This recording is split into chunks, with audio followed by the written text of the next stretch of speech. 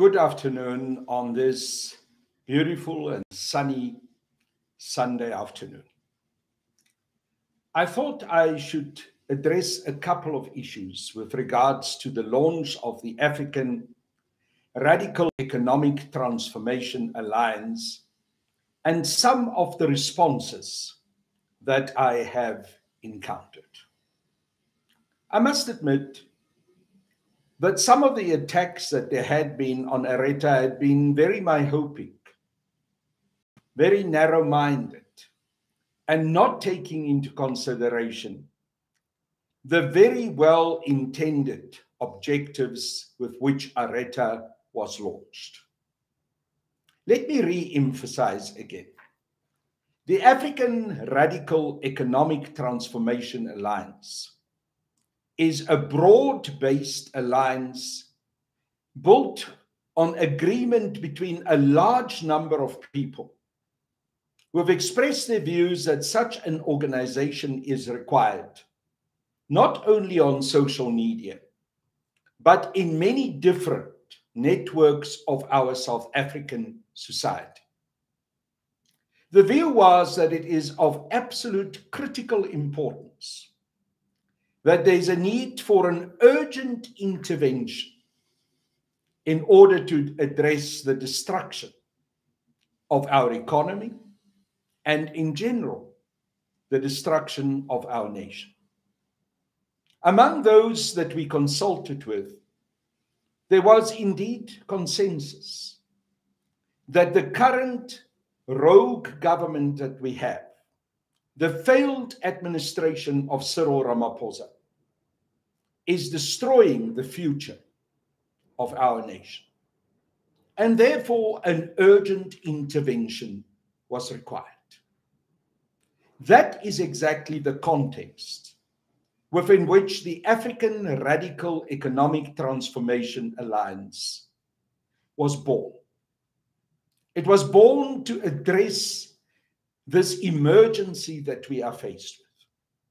And to come up with a minimum plan of action on how to save our nation and how to build a broad and united alliance amongst all of those on the left in South Africa, on the progressive spectrum of our nation, whether it's the political parties or civil society organizations in order to save South Africa and to do so in the context of advancing the radical economic transformation of our society. This is based on the understanding that at the critical essence of what is wrong in South Africa is the strangle grip that white monopoly capitalism and imperialism has on our economy and on our socio-economic development in general. So the understanding is very clear. The prime enemy, the main enemy to deal with, is white monopoly capitalism here in South Africa and imperialism international. So I've been amazed by some of the attacks that have been launched on the formation of the African Radical Economic Transformation Alliance. Attacks by people who should indeed have a better understanding of their own best interests. People who attack an organization, a movement, and broad united alliance that is meant to also save them from the utter destruction that we are heading towards.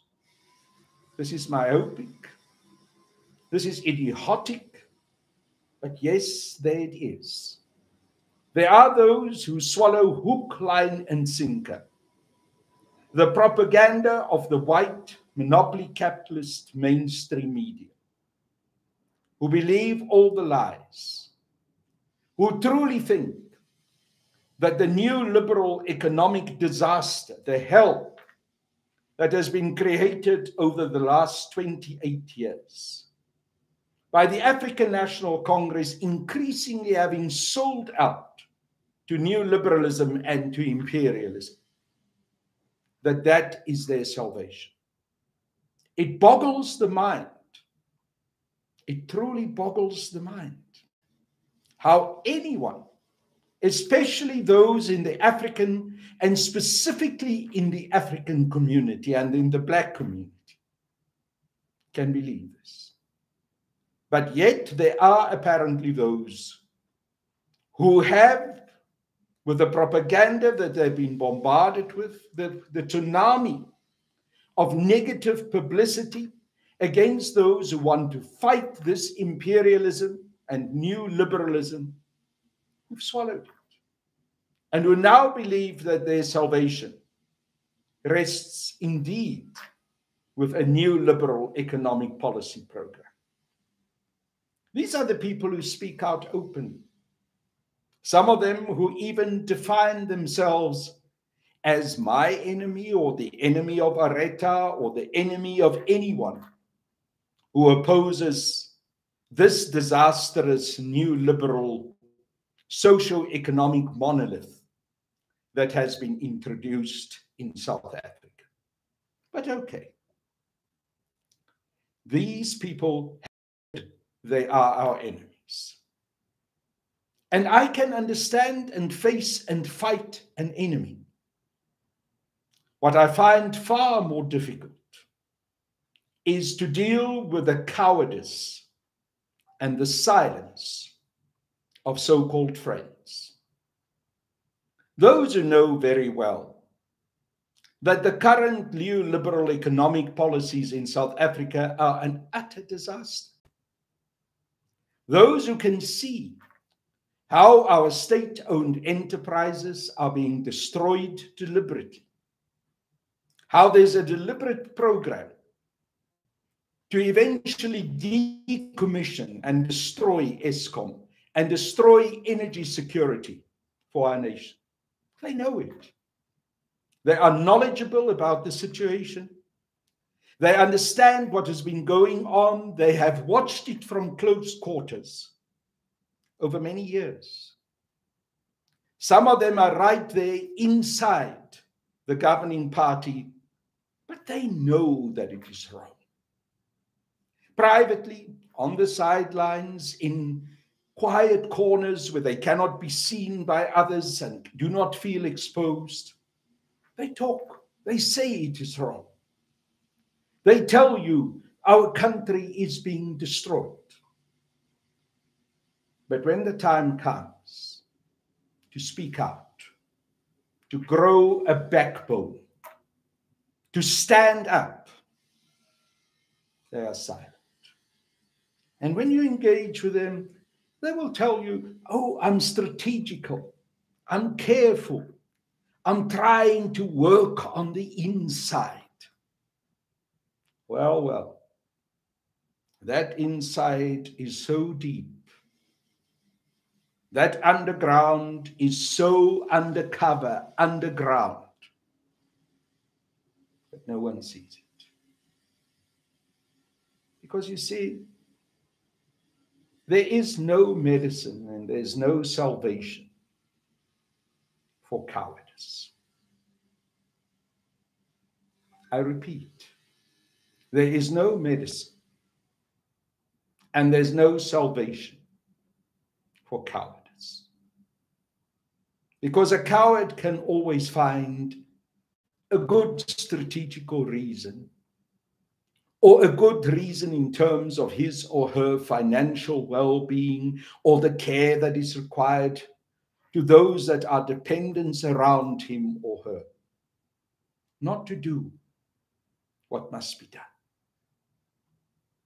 You see, the worst thing that you can do is when you know that something is wrong, when you know that your country is being destroyed when you understand the reasons for this huge chasm between the rich and the poor, the biggest in the world, 36.5% of unemployment, one out of every three South Africans without a job. When you understand the reasons why the petrol price is as high as it is, while it could be lower if proper arrangements are made with our BRICS partners. When you understand why Eskom is destroyed and why A grade coal is being exported while our own coal power stations get the worst coal, and while energy insecurity is deliberately being manipulated and created. With all the load shedding that we are being subjected to and all the devastation that it causes to our nation, when you understand all the reasons for that, but you remain quiet.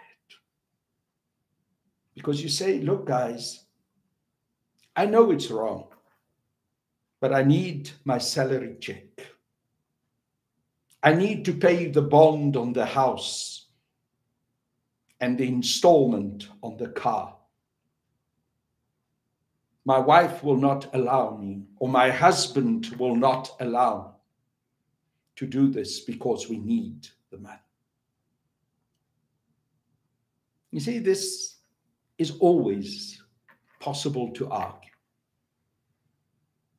And that's why I'm saying for those who are cowards, there's always a way out. There's always a reason to remain silent. I posted on social media this morning, and I truly meant it. I can forgive my enemies for their attacks. But it's far more difficult, if not impossible, for me to forgive my so called friends for their silence. And then, of course, there are those when you campaign in order to promote an organization such as the African Radical Economic Transformation Alliance.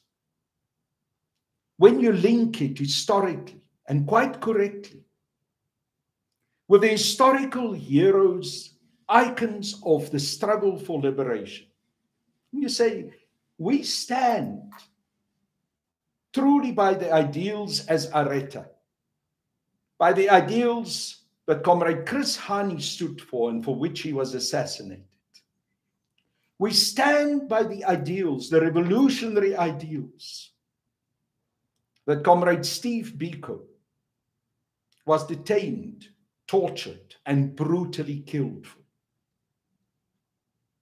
We stand by the ideals that Mama Winnie Madikizela Mandela was so viciously character assassinated for by Stratcom because she was not prepared to compromise her principles.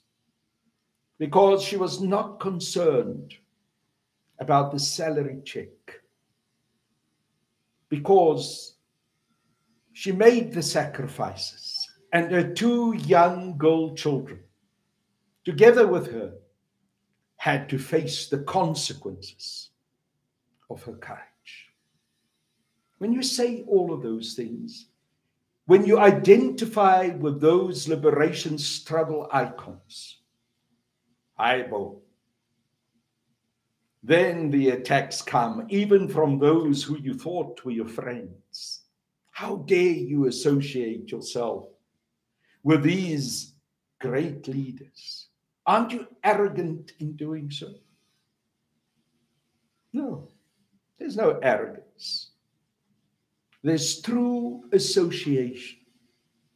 There's a historical acknowledgement of the roots where our ideals come from. The reason why we are called an African Radical Economic Transformation Alliance. I've said so before and I will say so proudly. The ideals for which and with which I joined the African National Congress in 1979, in June 1979 in Botswana. are exactly the same ideals that have driven me and other fellow comrades to launch the African Radical Economic Transformation Alliance. I've dedicated my life for 43 years to those ideals. I've never changed. My words, the posture that I've taken with regards to what is required for liberation in South Africa has never changed. I've been absolutely consistent. And the formation of Areta is a consistent expression of exactly, exactly those very same ideals. So, yes, I'm proud to associate these ideals, the objectives that we've expressed in Areta, also in our 10 point plan, both in the short document and in the more expanded document. I'm proud to associate those also with Comrade Chris Hani, with Comrade Steve Biko, with Mama Winnie Madikizela Mandela, with Mama Helen Joseph, with all of those great revolutionary liberation icons Yes. I know some of those leaders. I've been with them in the trenches. I have known them as my fellow comrades and friends. A couple of days before Chris Hani was assassinated, I was together with him on the stage in Boksburg, where he severely and strongly criticized the negotiations of CODESA, where he raised his concerns that those were a sell-out set of agreements that were being concluded. I shared those views that he expressed. I've known Comrade Harry Gwala, the Lion of the Midlands, very well. I've shared his commitment to fight for his people, to stand up against the third force, which was expanded and rolled out in most of KwaZulu Natal in conjunction with the Inkatha Freedom Party and the apartheid security apparatuses and their third force activities. I sat in meetings where Comrade Harry Gwala explained very clearly to the leadership of the African National Congress why it was necessary to stand up and fight. And he always explained what he was saying, not just in terms of the immediate war, in terms of that immediate need to resist the third force that was being unleashed on the people of KwaZulu Natal and also in parts of Gauteng and other parts of our country. He also explained it in terms of the way in which economic liberation was being undermined. And of course, Comrade Harry was going to do that because he was truly in bone and marrow a radical and a communist. I sat in meetings where he berated President Nelson Mandela, where he walked into the office of President Mandela on the 14th floor on what was then Shell House, a beautiful big office. And Comrade Harry stood there with his arms paralyzed in the middle of that big, huge expanse of an office. And he said, Madiba, I can see why you do not want to fight. You are sitting here in the lamp of luxury. I didn't hear that. And what Comrade Harry said to Madiba, third hand or second hand, I was there. I sat in that same meeting, in that very same office of President Nelson Mandela. I loved Mama Helen Joseph. She was my comrade and my mentor. I literally sat at her feet at her house in Fanny Avenue, Norwood, getting her great lectures, her historical interpretation of our liberation struggle, telling me about the great leaders that she worked with, helping me to understand the context of our struggle. I had spent many a day with Mama Helen. I've kneeled together with her on Christmas days in front of a very humble wooden cross with the prison letters of Dietrich Bonhoeffer opened in front of us. And together with her, we read out those prison letters in a remembrance of the prisoners in Robben Island and in other prisons who were political apartheid regime prisoners. We prayed, we cried, we laughed. I sat next to Mama Helen at her hospital bed on the 25th of December 1992 when she breathed her last breath exactly at 12 o'clock in the afternoon. It was at what is now known as the Helen Joseph Hospital. Then it was called the J.G. Strydom Hospital. I spoke at the funeral service of Mama Helen at the St. Mary's Cathedral in central Johannesburg.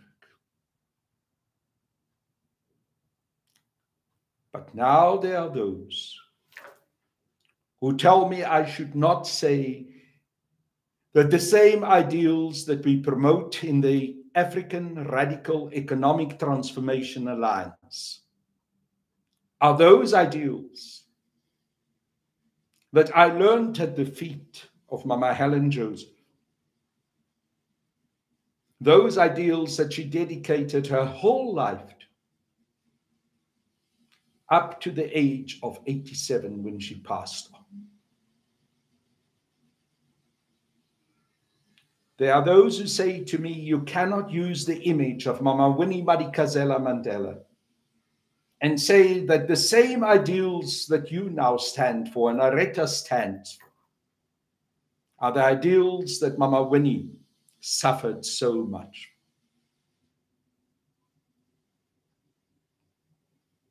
But I've been there. I sat so many a night into the early morning hours at the home of Mama Winnie, talking to her, holding her hand, engaging, crying, feeling the pain of the vicious attacks that were being launched against her even by her own comrades, by Cyril Ramaphosa, by Sidney Mufamadi, by Frank Chikane, by those in the so called Soweto Crisis Committee that had one aim but to destroy her legacy. I shared her pain and cried with her when she was brought in front of the Truth and Reconciliation Commission by Desmond Tutu and he demanded of her to apologize for things she had not done while he was allowing the apartheid apparatchiks, some of the worst criminals of the apartheid regime and of the security police, to go scot free, to be given amnesty and indemnity. I was there. I was there until the last days of Mama Winnie's life. I always stood by. But today, There are those who say to me, You cannot use the image of Mama Winnie. There are those who were probably not even born uh, during the days of what I've just related now, want to tell me that I've betrayed Mama Winnie Madikizela Mandela. And some of them will say they're even friends and allies. You see, there's nothing as treacherous as a so called friend. There's nothing as treacherous as a double talker and a coward. The list of people, of heroes, of iconic struggle heroes that we've listed that Areta identifies for and the ideals that Areta is with and identifies with them includes also Robert Sobukwe, Jafta Masemola, Miriam Makeba, Beyers Naudé, and all the other names that I've already mentioned. These leaders do not belong simply to one political party. There were those in the ANC who said, These are our leaders, as if they've got ownership of them. No, they belong to our liberation struggle. They belong to our nation. And this ANC, this betrayer of the ideals for the full liberation of our people, this ANC that is being led by Cyril Ramaphosa, this hollowed out, dead ANC that has become a Trojan horse for new liberalism, surely, certainly, this thing cannot claim these liberation icons. So, you see, my dear friends and comrades, when I speak this afternoon, I speak with some passion because I feel the pain, I feel the frustration of those who are betrayers, who cowards, who are without a backbone. But one thing I want to say unequivocally and unapologetic. I will not put distance between myself and those that I lived with, those with whom I've been part of this liberation struggle, those incredible, amazing comrades of integrity, of courage, of backbone who knew when it was necessary to speak out and stand up and fight, and who were prepared to pay the price. They taught me. To them, I have a loyalty more to, than to anyone else. In their image and in their dedication, I must live my life. No matter what the cost, what the pain, what the price. I've watched them paying the ultimate price. I've seen Comrade Chris Hani's body lying lifelessly in that pool of blood in the driveway of his house. I felt the last life seeping out of the bony, emaciated hand of Mama Helen Joseph as I was holding it there on her hospital bed. I've seen Comrade Harry Gwala, handicapped as he was, paralyzed as his arms was, fighting harder, standing stronger, being a giant, being truly the lion of the Midlands, despite his illness. I've watched the pain in the eyes of Mama Winnie Madikizela Mandela. I've watched how the betrayal was deep in her heart, eating her, but how she never compromised. And how she always continued to remind us what the struggle was truly about. I remember the history of Robert Sobukwe, who was imprisoned even without a proper trial, who was kept in prison until the day that he died. I've gone to the old age home in his last years where Dr. Beyers Naudé was living. I sat with him in that small living room when he was very ill. And I heard him in his shaking voice saying to me, and I'll say it in Afrikaans, Markaro, hoekom laat Madiba toe dat ons land uitverkoop but Carl. Why is Madiba allowing for our country to be sold out?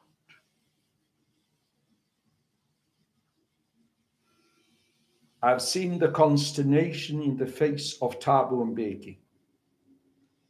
When in the last days of Oom Bey's life, when Oom Bey was very ill, and he was lying in the medical section of the old age home where he was staying. And Thabo arrived there. And Oom Bey pulled himself up and he looked at him and he said, What are you doing here? I've never seen you in years.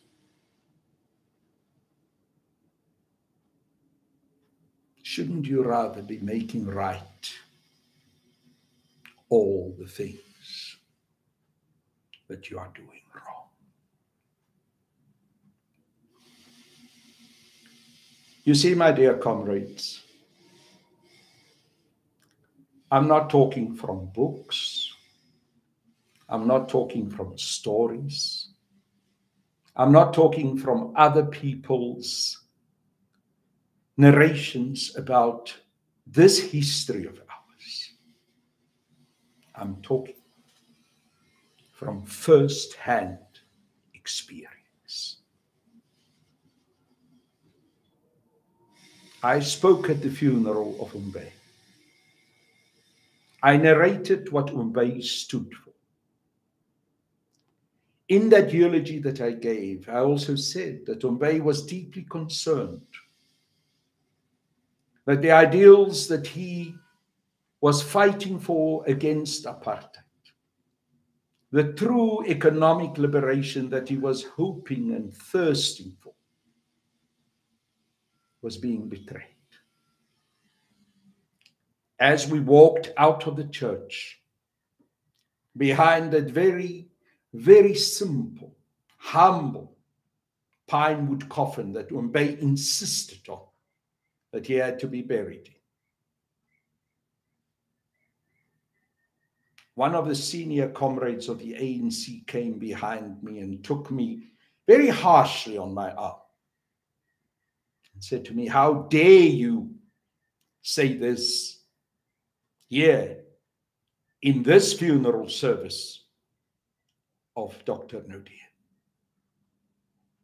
And I turned around and I smiled at him.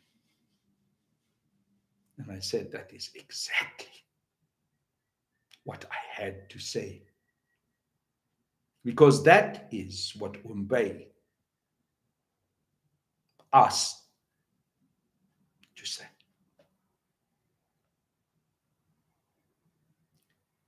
So, comrades,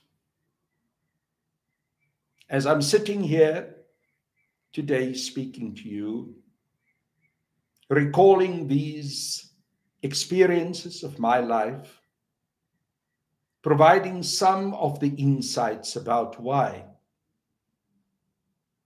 We are using the particular images and names of those liberation struggle icons in calling on you to be part of this great project of salvation, of the saving of our country that Areta is about. I do so with the utmost conviction. And I started off by saying that I wanted to address some of the issues that are weighing heavily on my heart.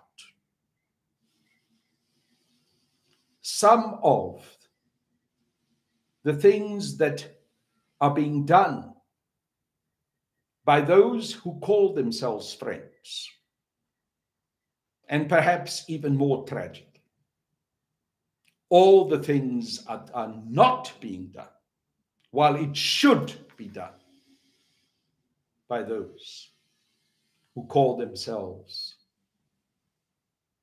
radical and our friends. I'm not doing this, I'm not speaking like this to condemn anyone.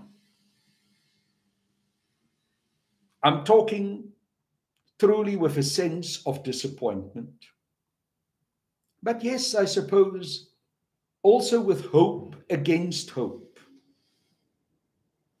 That those who will listen to this recording will understand the message that I'm trying to convey to all of you and also, especially, specifically to them, will hear me will find in their deepest hearts, in their souls, the unease coming out. The flame that has been doused to begin like an ember, like a coal when the wind blows and it starts to again burn, to burn up again inside. Because ultimately, the message continues to be to everyone, even those who have been cowards, even those who have been running away, even those who cared more for their salary checks than their ideals, their principles, to come back, to join us to be part of this great mission, this great struggle that we have absolutely no compromise to make with, that we have no way to escape. If we want to see liberation, we must fight, and we must fight now. So, my dear comrades, I call on you once again. Join us. Yes, take up the spear. Regain your courage and fight. a luta continua.